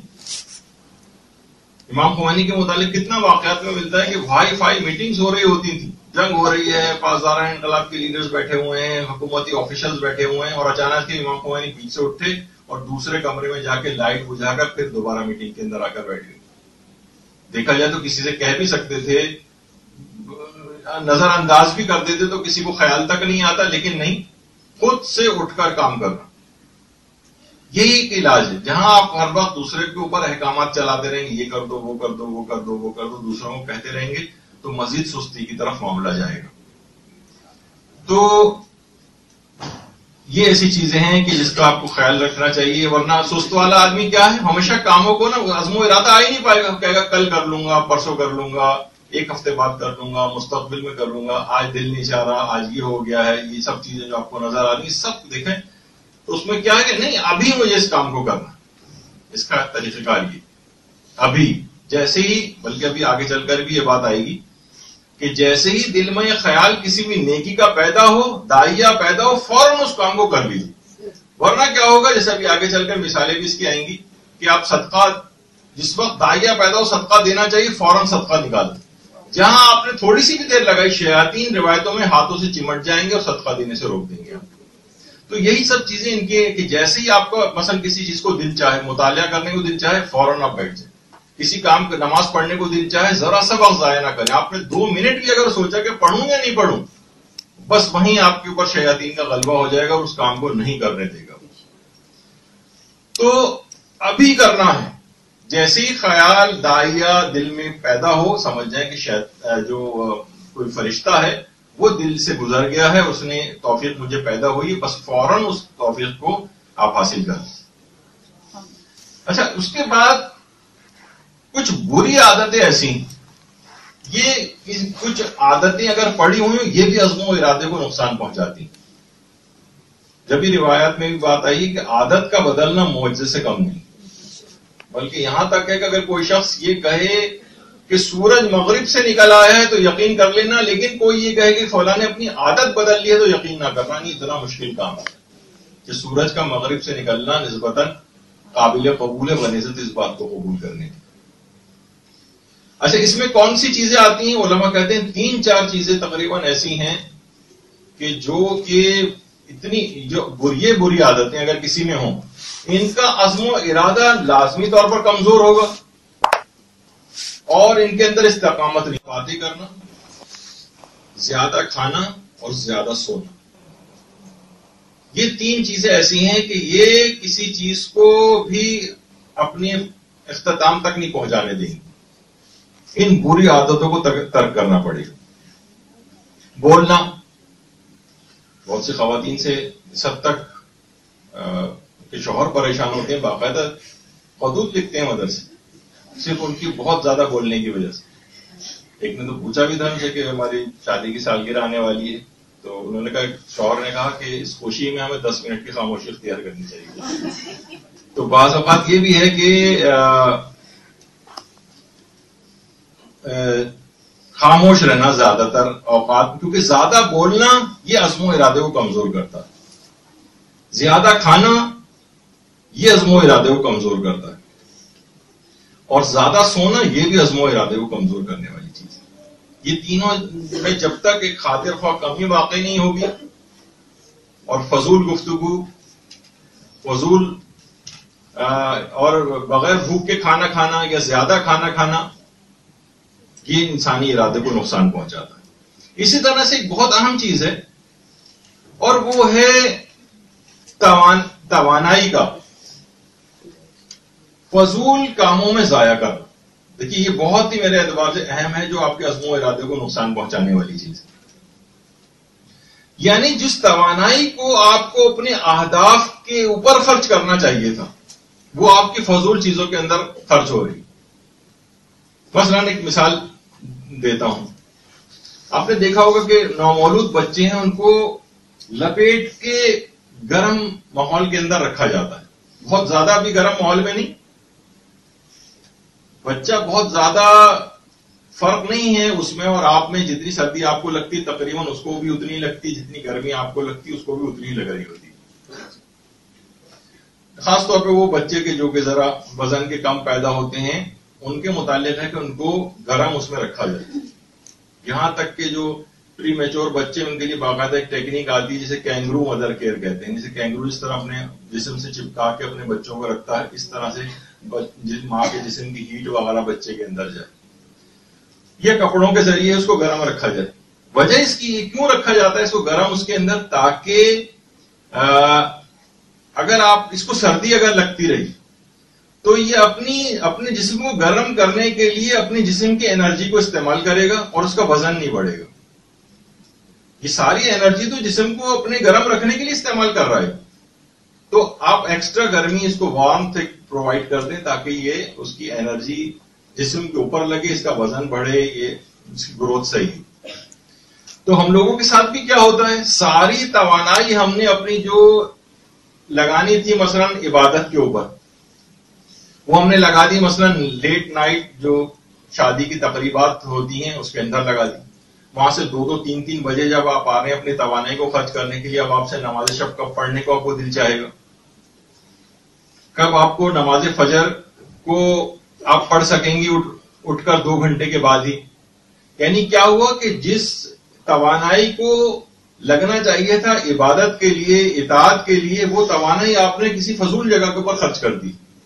थके हारे वहाँ से वापस आए। मसन कोई शख्स अगर इसराफ करके अपना सब कुछ लुटा दे तो अब इंफाक फ़ी सबील्ला के पास करने के लिए इसके पास कहाँ पैसे बचेंगे? कि कहाँ गरीब लोगों की इमदाद कर सकेगा ये कब सदकात दे सकेगा, कब नेक कामों में पैसा खर्च करेगा तो इसराफ में खर्च कर दिया इसने सारा? इसी तरीके से मसलन बच्चे हैं। खेल कूद कर, खेलना ज़रूरी है इनके लिए इसकी मजम्मत नहीं कर रहा लेकिन बेतहाशा खेलों के अंदर लगे रहना। अब ये इतना थका हारा जब ये लड़का नौजवान अपने घर के अंदर आएगा, आपके ख्याल में क्या वालदेन की खिदमत कर सकेगा? मैं जायज़ तरीके से जिसमानी एक्टिविटी के खिलाफ बात नहीं कर रहा एक्सेसिव बहुत ज़्यादा, जो हद से ज़्यादा कोई चीज़ बढ़ जाती है ना। तो हम देखते हैं कि मसलन वालदेन कहते हैं, जरा पानी पिला दो। तो पानी कहता है कि तवज्जो ही नहीं देते बच्चे आजकल। माशरे के अंदर हमको नज़र आ रहा है। कि ये कर दो, हमारी टांग दबा दो, कमर में दर्द हो रहा है वालदेन की, ये कर दो। लेकिन बच्चे आमतौर पर कि हम भी थके हुए हैं कि कह के मसलन चले जाते क्या है कि उन्होंने अपनी तोानाई को दीगर चीज़ों के अंदर लगा दी। अब जहाँ इतात इलाही का मसला आया, वहाँ पर उनके पास तोानाई नहीं बची। इसी तरह से मसलन अपनी आँखों को फजूल इंटरनेट सर्फिंग उसके अंदर लगाया हुआ है। अपनी आँखों को बजाय की किताब के मुताले में लगाते। यानी जायज़ हद तक जितना चीज़ इसके अंदर मोतदिल रहते हुए कंप्यूटर का इस्तेमाल, वो तो ठीक है। लेकिन मैं एक्सेसिव उसकी बात कर हूँ जो कि आमतौर पर माशरे में नज़र आ रहा है। नौजवान है, उनकी उंगलियाँ हर वक्त टेक्सटिंग वगैरह के फजूल। यानी एक एक चीज़ की गोया कोई ट्रैकर उनके ऊपर लगा दिया गया है कि मसलन बाथरूम भी जा रहे हैं तो उसके ऊपर स्टेटस लगा के जा रहे हैं और खाना भी खा रहे हैं तो उसका स्टेटस लगा रहे हैं। जो चीज़ पक रही है तो उसकी तस्वीरें खींची। फजूल तोानाइयाँ अपनी जाया हो रही ये ड्रेन हो रही हैं। जैसे मैंने अभी इससे पहले कहा था कि पानी की ऊपर जा रहा है पानी टंकी के अंदर, लेकिन सारे नलके जो है खोले हुए नतीजतन ये होगा कि जब वाकई ज़रूरत पेश आएगी और बाथरूम में बैठे होंगे तो सब पानी नहीं आएगा। तो बहरहाल ये मसला इसके अंदर होता है। तो उंगलियों को इसमें इस्तेमाल कर रहे हैं। तो अब इनके पास कब होगा कि जनाब ये बैठ की तो हाथ तो अपने इन्होंने इसमें थका लिए। अब ये इनके एक सफ़ा कागज़ के ऊपर लिख रहा है, इनके लिए दुश्वार हो जाएगा। तो ये होता है। अच्छा इसी तरह से ओलमा एक चीज़ और बयान फरमाते हैं कि जो अजमो इरादे को वो बेहूदा मनाजिर और फहश जो है वो गुफ्तगु आमतौर पर जो होती है। तो जैसे मैंने अभी कहा कि ये जो अफराद हैं, जो ये टेक्सटिंग कर रहे हैं अब इल्म वाली चीज़ के ऊपर ये, अब उसके ऊपर, उस सख्ती पर अब कुछ लिखा नहीं जाएगा, जो कि आम तालब इल्म जो हर वक्त इसके हाथ में कागज़ और कलम रहता है, वो अपनी उन तमाम तवानाइयों को बचाकर अपनी तवानाई इस जगह के ऊपर लगाता है। ये इल्म हासिल करने पर लगाएगा, वो फजूल चीज़ों के अंदर या ज़रूरत से बहुत जायद उनको इस्तेमाल नहीं करेगा। तो उलमा ये फरमाते हैं कि जो कि फहश और बेहुदा मनाजिर अगर हैं, इनसे भी इज्तनाब करना लाजमी हद तक, वाजिब हद तक ये मसला पहुँच जाता है कि ये अफराद कभी भी फिर इस्तेकामत किसी चीज़ में इनकी नहीं रह पाती। इसमें ऐसे तमाम ड्रामे भी आ जाते हैं। अब तो तकरीबन ऐसे इश्तेहार भी तकरीबन सारे इश्तेहार ऐसे आने लगे हैं जो बहुत बेहूदा हैं और इस पर्पज को बेहूदी के और फहश चीज़ के वो फुलफिल करते हैं। यानी आप ये नहीं सोचेंगे भाई ये तो एक आम सा एक मोबाइल का एड है उसके अंदर मुस्तकिल रक्स और डांस और ये हराम चीज़ें जो है उसके अंदर दिखाई जा रही और वो क्या है वो फहश और बेहूदा मंजर है जो उसके अंदर दिखाया जा रहा है। ये सब चीज़ें जो आँखों की निगाहों से गुजर रही हैं अजम और इरादे को कमज़ोर बनाती हैं। ये सब चीज़ें इस्तेकामत को पैदा ही नहीं होने देती। और इसी तरह से ये हराम निगाहें। यानी इस इनकी जो सबसे पहली नहूसत उलामा ने लिखी वो ये कि इबादत और इतात इलाही की लज्जत जा, जाती रहती। कभी दिल नहीं लगेगा। और दिल नहीं लगेगा इबादत पे तो इस्तेकामत भी नहीं आ पाएगी। तो अब ऐसे ऐसे अशखास जो हैं, इनको हलाल लज्जतों में भी लुत्फ नहीं आता। बल्कि ये क्या है, ये इनको, इनकी रगबत ही सिर्फ़ हराम की तरफ़ होने लगती है। कितनी औरतें यकीन जानिए की शिकायत करती हैं, कि शोहर मसल, उन पर तवज्जो नहीं देते, पता नहीं किन किन से फोनों पे और उन पर बात करते रहते हैं, वगैरह। क्या है कि क्योंकि उस चीज़ों के आदि हो गए, अब जायज़ और हलाल चीज़ जो है, उसके अंदर उन्हें रगबत महसूस नहीं होती, और हराम चीज़ की तरफ़ उनकी निगाहें उठती। तो ये शयातीन इस तरह से जो भी आपने सुना कि बाकायदा इनके ऊपर शयातीन का नजूल होने लगता है। अब ये उनके हाथों के अंदर खेलते हैं। वो जो दिखाना चाहता है, वो देखते हैं। जो सुनाना चाहता है, वो सुनते हैं। इबादत और इतात इलाही की चीज़ों से उनको वहशत महसूस होती है। जायज़ और हलाल चीज़ों में बेरगबत होने लगते हैं। इस्तकामत नहीं आ पाती। तो हराम निगाह कुछ इस तरह की चीज़ें लेकर आती और जो और चीज़ जो नुकसान पहुंचाती है आपके अजम इरादे को, वो है बहाना साजियाँ फजर पे मैं यूँ नहीं उठ पाया कि रात हम देर से सोए थे। फला मेहमान आ गए, रात को देर तक बातें करते रहे तो फिर आँख नहीं खुली। कल बहुत अच्छी कोई मूवी आ गई थी, इस वजह से देर से सोए, आँख नहीं खुली। मसन खुमुस देने की बारी आई तो उसमें भी बहाने। भाई, पहले तो सेविंग हो जाती थी, निकाल दिया करते थे, अब पैसे ही नहीं बचते हैं हमारे पास कहाँ से निकालें? अब इतने खर्चे हो गए। किसी से कहा, जाए जनाब, आप इल्म क्यों नहीं हासिल करते हैं? तो कहते हैं कि जनाब, वक्त ही नहीं है। नहीं सुबह के निकले हुए रात को घर पहुँच रहे हैं। वक्ती कहाँ है हमारे पास? औरतें कहती हैं, घरेलू काम इतने हैं, बच्चों की जिम्मेदारियाँ है, फला है हासिल करने के लिए वक्त ही नहीं। यानी जिसे कहा जाता है कि कोई बनी इसराइल वाला लोगों का रवैया। यानी उनसे कहा गया था कि गाय को जिबा करो तो इतनी टाल मटोल से काम लिया कि इन बकरता तशाबा अलैना। कहने लगे कि गाय हम पर मुश्तबा हो गई कि इतना वाजे हुक्म था, लेकिन उसके अंदर इतनी बहानेबाजियाँ की उस गाय को जिबा करने में। तो इसके मुकाबले में जबकि हम देखते हैं कि जो इस्तकामत रखने वाले अफराद, उनको ख्वाब में भी एक चीज़ की तालीम की गई, जैसे हज़रत इब्राहिम को इस्माइल को तुम्हें जिबा के लिए तैयार करना है। फल्लम्मा असलमा व जबीन। उन्होंने क्या किया? कि जो सर तस्लीम खम किया परवरदिगार की तरफ़ और इस्तकामत दिखाते हुए पेशानी के बल अपने बेटे को लिटा दिया जिबा करने के लिए। उनसे गाय जिबा नहीं हो रही थी और ये अपने बेटे को इस्तकामत करने वाला बेटे को जिबा करने पर तैयार हो गया। तो ये होता है कि टाल मटोल से काम लेना बन इसराइल के लोगों का सा रवैया अख्तियार करना ये हो गया था तो ये हो गया। इस वजह से मैं ये नहीं कर सका इस वजह से मैं ये नहीं कर सकी। हर वक्त बहाने बाजियाँ बहाने बाजियाँ इसी के अंदर ज़िंदगी तमाम हो जाती है उनका अजमो इरादा कभी मुस्तकिल नहीं हो पाता।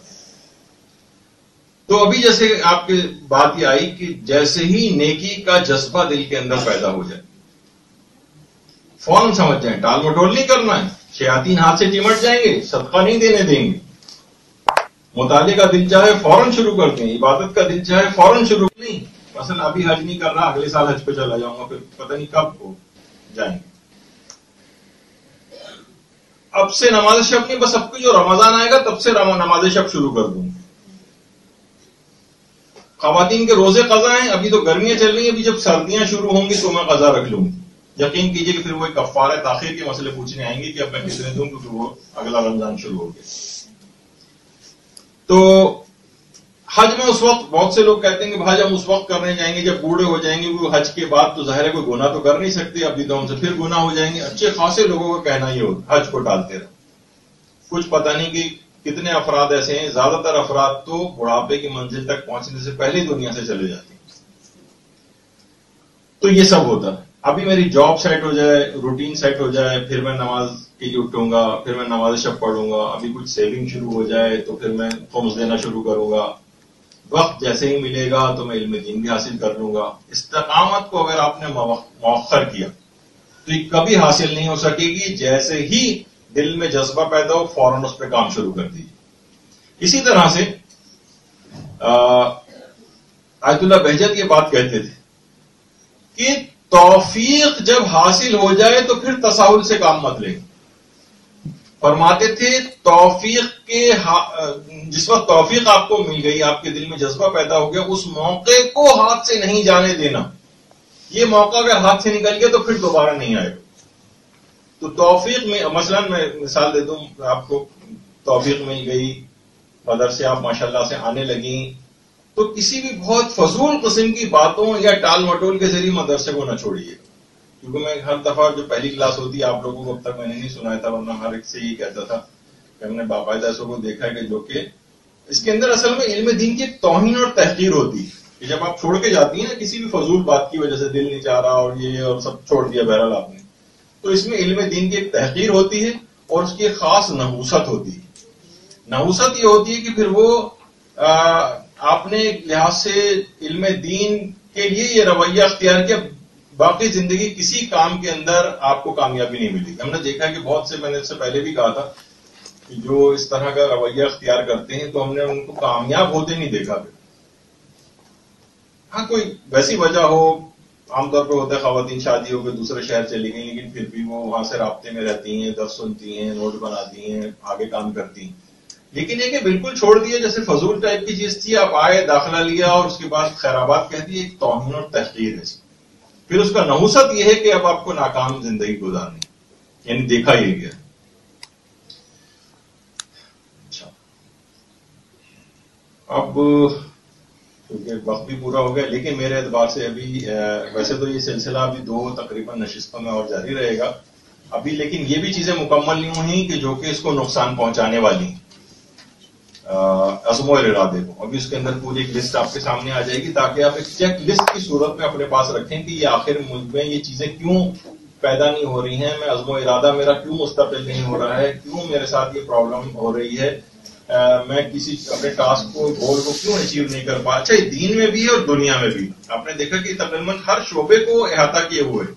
मैंने उसी वजह से मिसाल दी थी कि टोटकों में भी अगर कोई महारत हासिल करना चाहे तो एक नाम बना सकता है। हालाँकि जो बाहर कोई सोच भी नहीं सकता था कि इसके अंदर भी लेकिन नहीं, यानी किसी चीज़ में भी आप चाहें माहिर होना तो माहिर होके बड़े मुकाम तक बहरल पहुँचा जा सकता है। ये तो छोटी सी एक बात थी। लेकिन इल्म दीन के अंदर, तकवे में, परहेजगारी में और दीगर जो फजाइल हैं, उसके अंदर भी कमाल हद तक जाया जा सकता है। लेकिन उसी वक्त मुमकिन है जब इस्तेकामत आपके पास आए, और ये उसी वक्त मुमकिन है जब अजम और इरादा आपका कवी और मज़बूत हो। उसको टूटने वाली तमाम नुकसान पहुँचाने पहुँचाने वाली चीज़ों से अपने आप को बचाना पड़ेगा, जो भी तस्करा हो रही है और आइंदा भी गुफ्तु में आएँगी। उसके बाद तकरीबन हम 25-26 के करीब ऐसी चीज़ों का ज़िक्र करेंगे जिन पर अमल करने से बरह रास्त इरादा और अजम कभी होता है और इस्तकामत आती है। वो इंशाल्लाह अगली हमारी नशिस्तों का कौन बनेगा। वो सल्लल्लाहु अलैहि वसल्लम